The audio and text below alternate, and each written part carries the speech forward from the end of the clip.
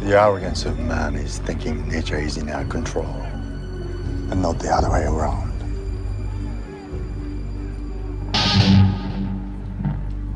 Let them fight.